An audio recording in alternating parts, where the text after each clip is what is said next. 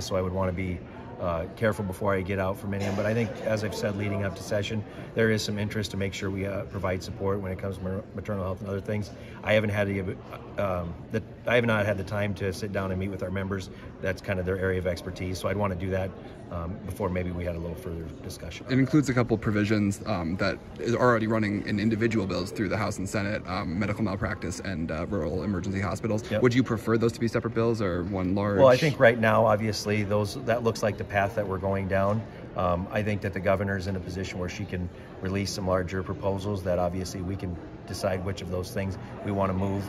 Uh, a couple that you just touched on, like the, the rural hospital piece, obviously is one of the priority bills that we laid out early in session. So I wouldn't look at that as a negative or a positive in any sense, just uh, a different approach with similar issues. And then one more just about um, behind the counter. Oh, I forget the term, but birth control without a prescription. Um, is that going to have support?